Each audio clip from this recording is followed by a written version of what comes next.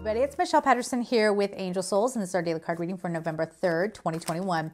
Let's see what we have for today. If you'd like to get a personal reading, go to angelsouls444.com, or if you want to do an archangel meditation challenge like with Gabriel, because Gabriel just came out, gumroad.com slash angel souls. All right, what we got? We've got Eight of Gabriel. We ain't messing around no more.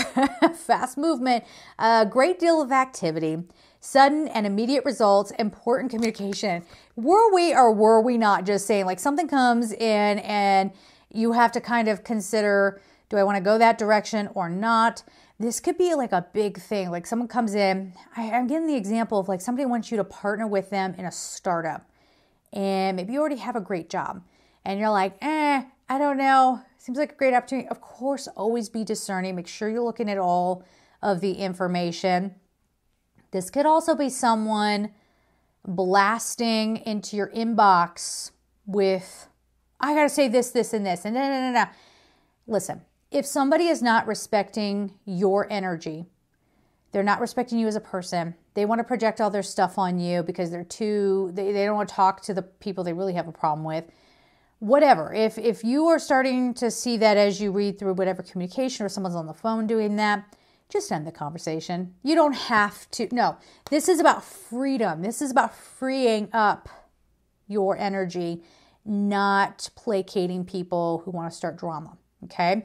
So I want to make that very clear. Now, this like it says here, it's fast communication. I bring that up because it does it does feel like someone kind of comes in and tries to come at you um, for some. But yet for others, it's like, hey, you, what you been up to? We have a job opportunity for you.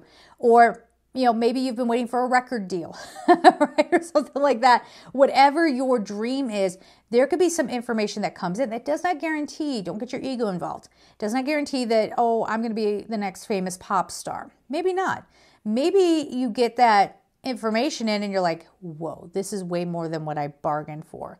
This is going to be, this isn't what I imagined, right? And so it's going to sacrifice too much. Whatever it is, there's, there's like quick motion. I have to process this. I have to figure out what I want to do and how I want to move forward without tripping over your feet and falling on your face. So get ready. Get yourself geared up for today because there could be something coming out of the blue that you need to handle. And it might be very, very good as well. So we're going to leave it there, guys. I'm sending you all so much love and take care.